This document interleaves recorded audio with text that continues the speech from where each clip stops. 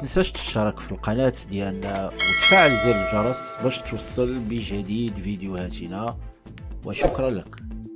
مشاهدينا الكرام السلام عليكم ورحمة الله. تطورات في قضية الصحفي حميد المهدوي اللي كيواجه حكم ابتدائي بالحبس النافذ لسنة ونصف وتعويض مادي 150 مليون سنتيم للمشتكي وزير العدل عبد اللطيف وهبي. آخر كيف التطورات خرجت النيابة العامة عن صمتها في هذه القضية. وأفادت النيابة العامة بأن المهداوي ما يزال بريئا في نظر القانون مشددة في من جانب آخر على أن ما يصدر أو ما يصدر في مواقع التواصل الاجتماعي وفي الفضاءات المعلوماتية من منشورات رقمية سواء مصورة أو سمعية بصرية لا يدخل في إطار العمل الصحفي ولا تسري عليه أحكام قانون الصحافة. لكن تفاعلا مع ما أسلفتم آه، القول بشأنه هو أن النيابة العامة آه، بخصوص هذا الملف هي آه، يدخل في إطار نقاش مجتمعي يدور بنفيه وأخرى حول مدى صحة متابعة بعض المنتسبين للجسم الصحفي بمقتضى القانون الجنائي وليس بقانون الصحافة وهو نقاش مجتمعي سبقتنا به مجتمعات أخرى كفرنسا على سبيل المثال. هكذا برر حسن فرحان اللي هو رئيس وحدة قضايا الصحافة. برئاسة النيابة العامة أمس الأربعاء متابعة الصحفي حبيب المهدوي بالقانون الجنائي بدل قانون الصحافة على اعتبار أن وسيلة النشر اللي استعملها المهدوي تتخرج من مجال تطبيق قانون الصحافة. وقال فرحان في تأويله للجوء إلى القانون الجنائي بدل قانون الصحافة في متابعة المهدوي إن القانون حدد بشكل دقيق نطاق ممارسة الصحافة اللي كيحط عليها الحماية القانونية. وقال على أن كاع المنشورات الرقمية اللي ما كتوفرش فيها شروط الصحافة الإلكترونية وفق الشكل الذي حدده قانون الصحافة والنشر فهي تخرج من مجال تطبيق هذا القانون وتخضع لأحكام القانون الجنائي متى تضمنت تلك المنشورات افعالا تقع تحت طائله هذا القانون. ويدور حول مدى الحدود الفاصلة ما بين ما يعتبر عملا صحفيا آه، محمي بمقتضيات إجرائية منصوص عليها في قانون الصحافة آه، وما بين ما يعتبر آه، من باب ممارسة حرية التعبير على مواقع التواصل الاجتماعي والذي يشكل يعني فعلا كما جميع الأفعال التي تصادر عن الأشخاص والتي يتحمل فيها مسؤولية الشخص الصادر عنه في إطار القانون وما يكفله القانون للأشخاص من من من أفعال مباحة أو مجرمة. وبالتالي يعني أي منشور ما تلاحش في داك الشيء اللي دايرو القانون ديال الصحافة والنشر. يعني لما تكتبش في ال site ديال الموقع ولا ما تكتبش ولا ما كانش شي صورة على شكل فيديو ولا صورة تلاحت في الموقع واخا لا لحتي في الفيسبوك ولا لحتي في اليوتيوب فما كيتحسبش ما كيدخلش في النطاق الصحافة. كيولي في نطاق ال social media كيطبق عليه القانون الجنائي.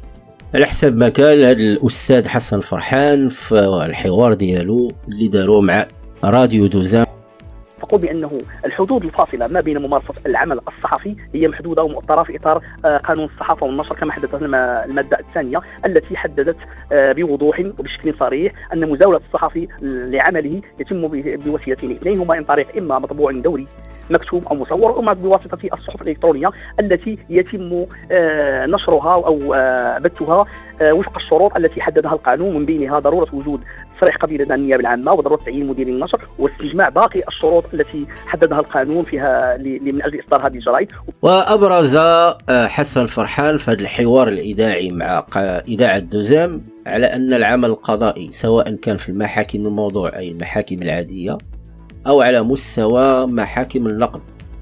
دأب على اعتبار أن ما كيتنشر في مواقع التواصل الاجتماعي والفضاءات المفتوحة كيندرج في إطار النشر الشخصي اللي كيخضع الأحكام القانون الجنائي كلما تضمن أفعالا مجرمة بمقتضى هذا القانون.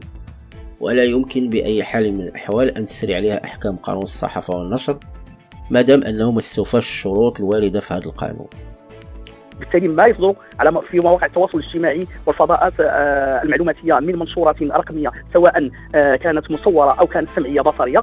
فهو لا يدخل في إطار العمل الصحفي ولا تفعيل احكام قانون الصحافة بقدر ما أنه يخضع كباقي الأفعال الصادرة عن الأفراد لمبدأ الحرية كالاصل ولكن هناك حدود حددها القانون وأفعال جرمها القانون يسري على مقتضيات قانونية مختلفة مثل مجموعة القانون الجنائي أو القوانين الخاصة التي تؤطر في تلك الأفعال متى متى من تنطوت على أفعال المجرمه كما قلت.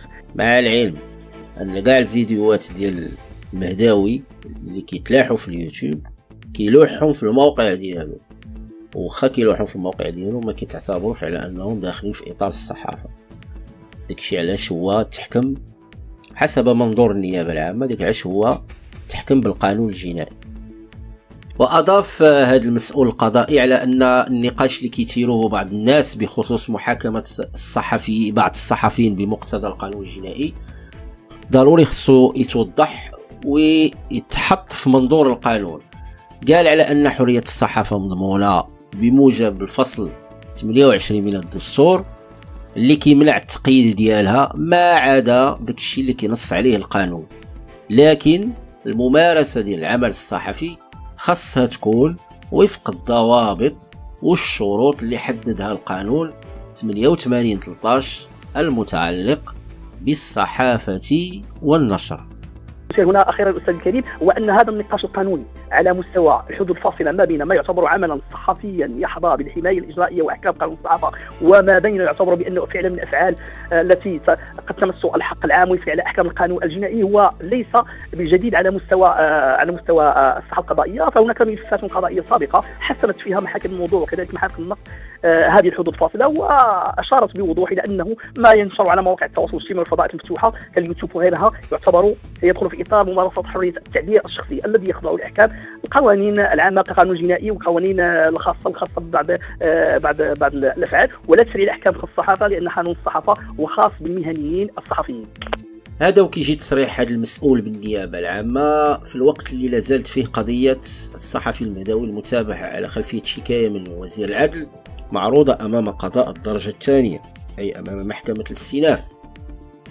ورغم أن هذا المسؤول كرر أكثر من مرة بأنه كيحترم قرينة البراءة في هذه القضية وأكد أنه لا يريد التعليق على الحكم الابتدائي الصادر في هذه القضية ما دامت معروضة على القضاء إلا أن تبريره المتابعة تحت طائلة القانون الجنائي وليس قانون الصحافة من شأنه أنه يؤثر على سير هذه القضية في مرحلة التقاضي أمام محكمة الاستئناف. بما أن دفاع الصحفي المهداوي بنى مرافع مرافعاته أثناء الدفعات الشكلية أمام المحكمة الابتدائية على الدفع بعدم متابعة موكله تحت طائلة القانون الجنائي بما أنه صحفي مهني يحمل بطاقة مهنية. إن هذا الملف هو بيد القضاء الذي يظل المؤسسة آه، القانونية الوحيدة للحديث عن عن مجرياته ولكن ما يجب آه، التذكير به هو أن الشخص الذي تفضلتم بالحديث عنه هو ما زال كما قلت آه، في نظر القانون بريء يحظى بقرينة البراءة والمكفول له دستوريا وقانونيا وثانيا أنه الحديث والتعليق على الأحكام القضائية هو فيه مساس بسلطة هذه المؤسسة. ما تنساش تشترك في القناة ديالنا وتفعل زر الجرس باش توصل بجديد فيديوهاتنا وشكرا لك.